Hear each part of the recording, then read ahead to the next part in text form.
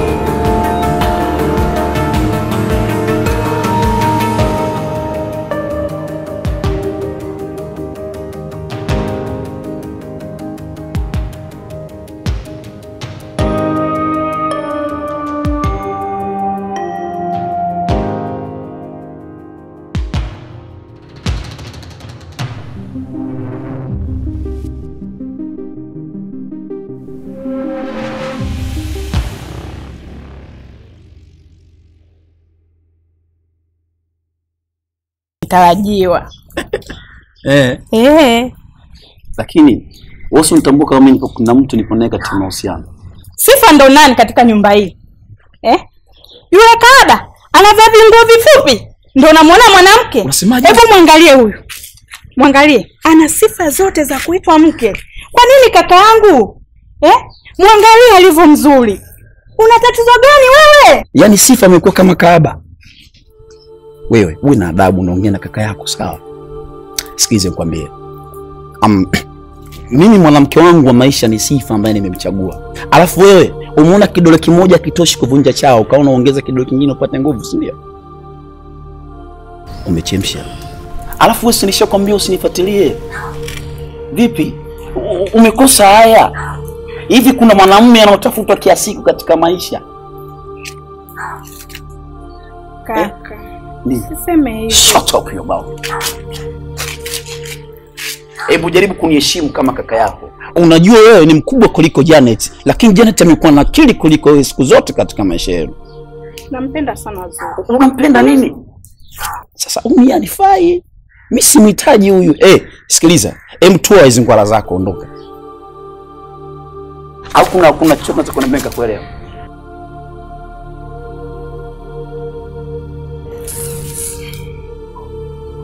Mwanaume atafuta namna hiyo bwana.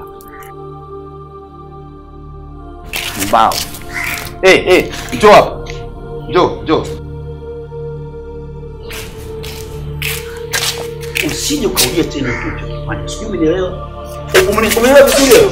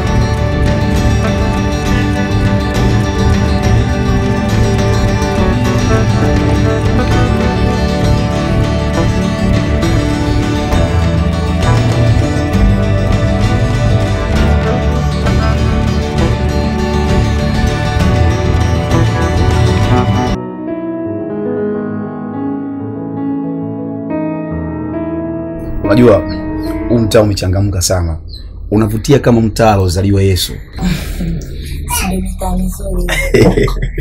Um,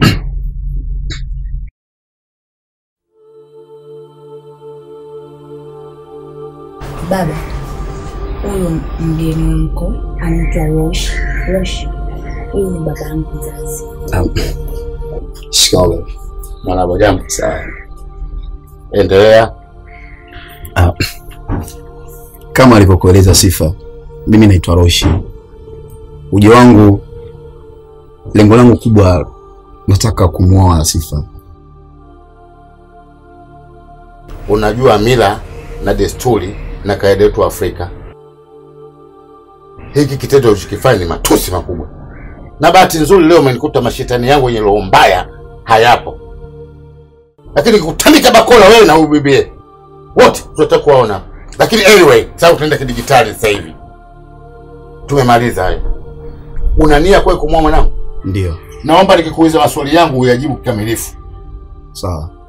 na katika mahusiano yenu mmeshawahi kuna ni hii yaani vijana siku hizi wenyewe wanasema hatuwezi kuoana mpaka Hapana mzee wangu, hatujafikia hatua hiyo. sawa naomba unieleze kweli. alafu nitakuuliza maswali yangu matatu uyajibu. Hayo ndio tutakokupatia mke au kunyima mke. Swali langu la kwanza, elimu yako Ah, elimu yangu nimepita pita, nime nime nimesoma mpaka darasa la sita, lakini darasa la saba sikumaliza. halina umuhimu kwangu. Kazi yako. Mimi ni ni mfanya biashara. Swali la tatu ndilo ambayo utakuwa kupatia mke au kunyima mke. Una madeni unadaiwa? Naomba uniambie ukweli.